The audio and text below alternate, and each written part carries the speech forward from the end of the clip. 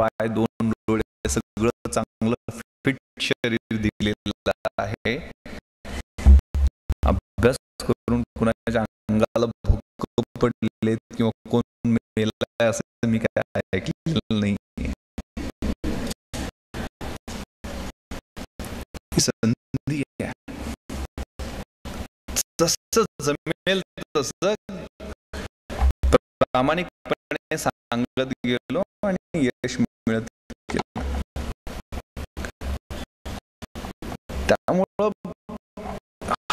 वेळ आहे ना हा खूप महत्त्वाचा आहे. तुमच्या आयुष्यातला कन्स्ट्रक्टिव्ह पिरियड मात्र इथं वळणही वेगळं लागू शकतं. या वयात अनेक काय म्हणतात ते सोळा वर्ष धोक्याच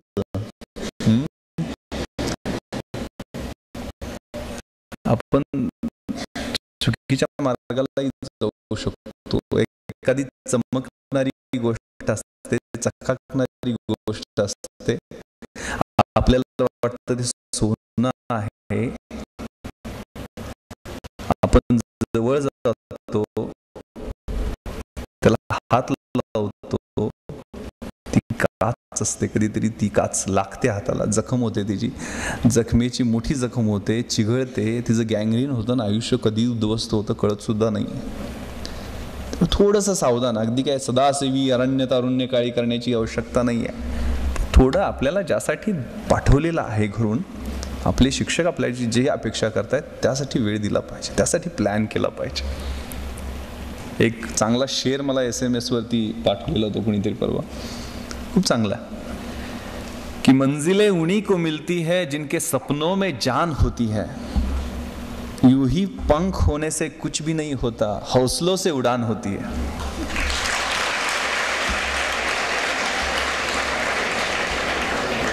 तुमच्यातला हौसला तुमच्यातली जिद्द तुमच्यातली इच्छाशक्ती या गोष्टी तुमचं स्वप्न पूर्ण करणार आहेत. त्यामुळे प्लॅन करा हेच वय आहे प्लॅन करण्याचं. एक खूप चांगलं इंग्रजीत शब्द होते वेळेच्या महत्त्वाबद्दल की to realise value of one year ask the student who has failed in his exam एक वर्षाचं महत्त्व तुम्हाला ओळखायचं असेल तर वार्षिक परीक्षेत नापास झालेल्या मुलाला विचारला विचारा. मराठीत सांगतो ते. एक एक महिन्याचं जर तुम्हाला महत्त्व विचारायचं असेल जाणून घ्यायचं असेल तर अशा आईला विचारा जिनं आठव्या महिन्यात आपल्या बाळाला जन्म दिला. एक आठवड्याचं जर महत्त्व तुम्हाला जाणून घ्यायचं असेल तर साप्ताहिक निघतं ना त्याच्या संपादकाला विचारा. एका दिवसाचं महत्त्व तुम्हाला जाणून घ्यायचं असेल तर रोजंदारीवर कामाला जाणाऱ्या रोजगार करणाऱ्या कामगाराला विचारा ज्याची घरात सहा मुलं जेवण्यासाठी वाट पाहत असतात. एक तासाचं महत्त्व तुम्हाला थोड्या दिवसानं कळेल किंवा काही जणांना आत्ताही कळलेलं असेल. Ask the lovers who are waiting to meet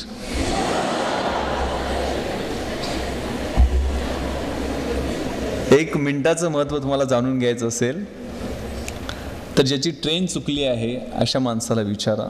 एका सेकंदाचं महत्त्व तुम्हाला जाणून घ्यायचं असेल तर त्याचा नुकताच ॲक्सिडेंट चुकला आहे ना ॲक्सिडेंटमध्ये वाचलाय त्याला विचार. आणि सगळ्यात महत्त्वाचं to realise value of milli one milli second सेकंदातल्या दहाव्या भागाचं तुम्हाला महत्त्व जाणून घ्यायचं असेल तर ask the runner who has won silver medal in Olympics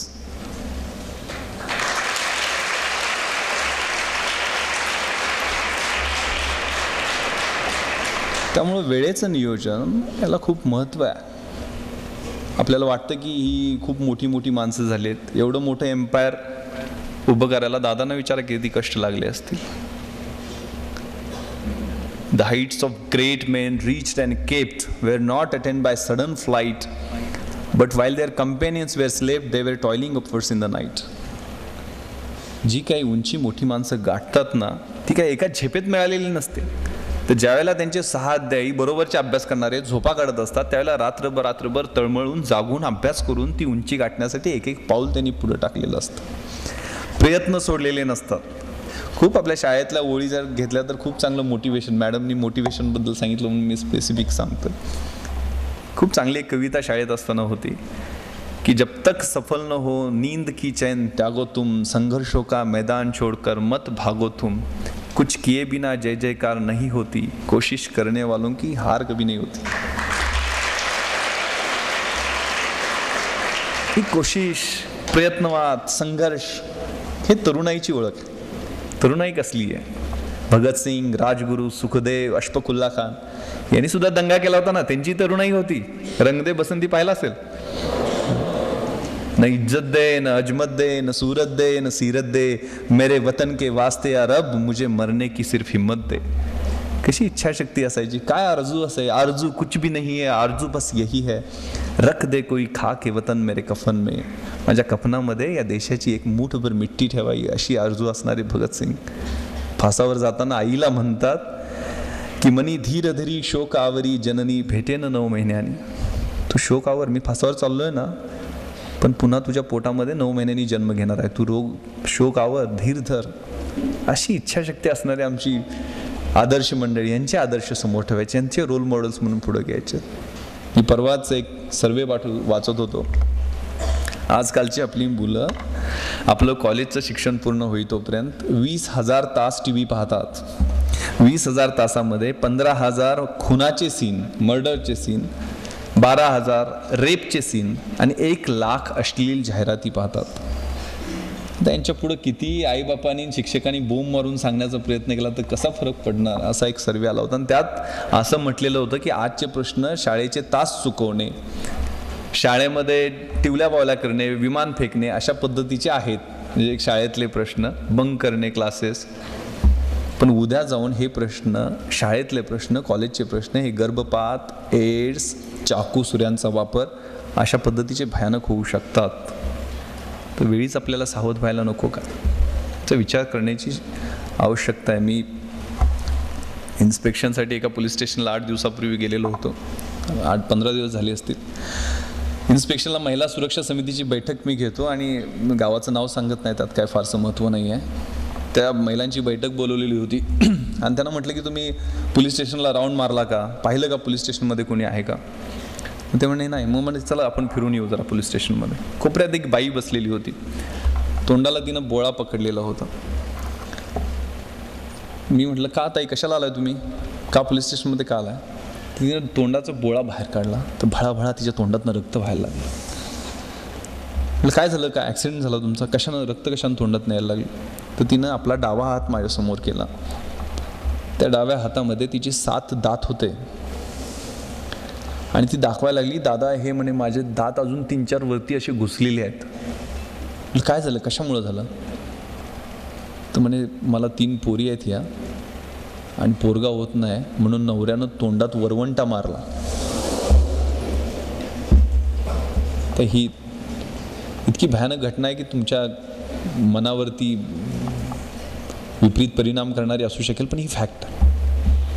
ती भाऊजाईचं सा ऐकून त्या नवऱ्यानं म्हणे तोंडात वरवंटा मारलाय आणि हे दात माझे पडलेत आणि वरती दात गेलेत. मला खूप राग आला. मी इमिडिएटली तिथे इन्स्पेक्टरला बोलवलं म्हटलं तीनशे सातचा गुन्हा दाखल करा बेट्याला धरून आणा लॉकअपमध्ये टाका पहिले. ते सांगितलेलं तिला कळलं असावं तिनं माझे पाय धरले. हो दादा म्हणे काय गुन्हा बिना दाखल करायचं नाही मला. माझं नाणं मला लावून द्या फक्त माझी तीन पोरं रस्त्यावर येतील.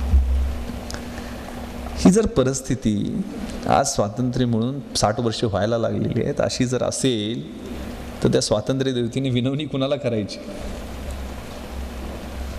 त्यामुळे ही फॅक्ट आहे.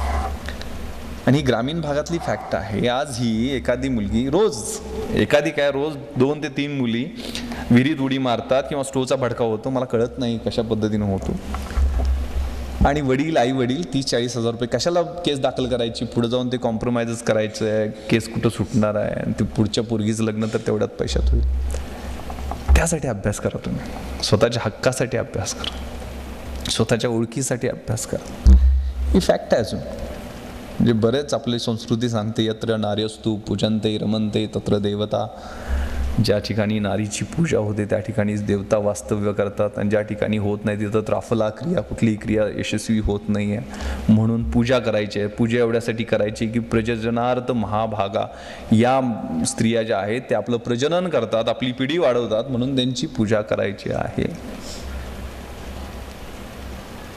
तर म्हणजे संस्कृती आपण मोठ्या गप्पा मारल्या तरी फॅक्ट बघितला तर विजय देवरायच्या राजाला चार हजार बायका होत्याच ना. एका वेळेला चार हजार बायका सती गेल्या. तर मला समजत नाही एक राजा चार हजार किती दिवस होतात आयुष्यातले.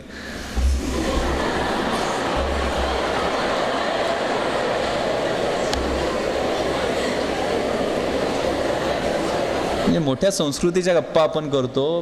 पिता रक्षती कौमार्य भरता रक्षती यवने. पुत्रो रक्षती वार्धक्ये न स्त्री स्वातंत्र्य अर्हती